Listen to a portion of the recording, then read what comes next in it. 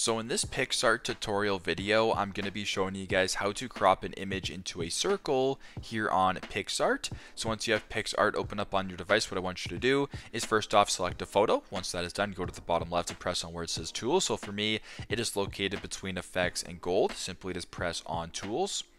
Then once you're here, simply go to the top bar, press on where it says Shape Crop, so right in between Free Crop and Dispersion, and right above where it says Stretch, press on Shape Crop. Now by default, it makes the shape a square, but if you wanted to go and change it to a or to a circle, this bottom bar right here, uh, just go two uh, options over and press on the circle.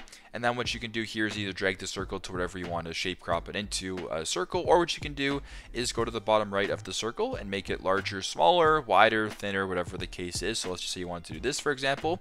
Once that's done, go to the top right, press on the arrow, press on save, and there you go. Uh, that is how you guys can crop an image into a circle here on PicsArt. Thanks again for watching, and I hope this video helped.